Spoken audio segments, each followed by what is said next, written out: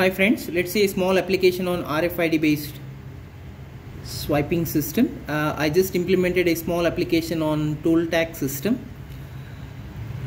Uh, here I did some hardware connections with RFID reader and uh, microcontroller which is Arduino Uno board and 16 cross to LCD screen.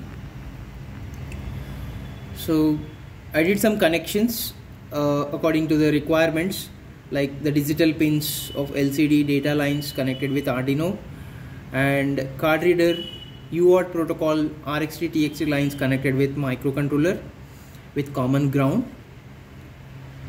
And these are my simple connections with controller board and peripherals. So coming to the application. So I just have two individual RFID tags. So which uh, I took one card for uh, tax uh, like toll tax reduction uh, with predefined values. And another card for unauthorized.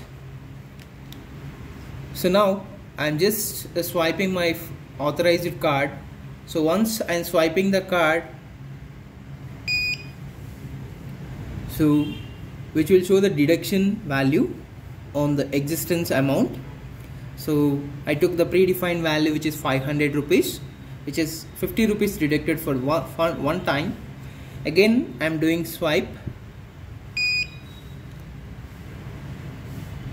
So the amount is deducted again 50 rupees. And now I'm testing my unauthorized card. So just swipe your unauthorized card so that it will display the proper message on screen which is unauthorized so this RFID is useful for different kinds of applications, not only uh, toll tags, but most used products uh, which are in live.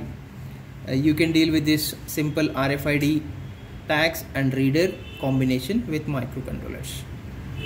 Thanks for watching.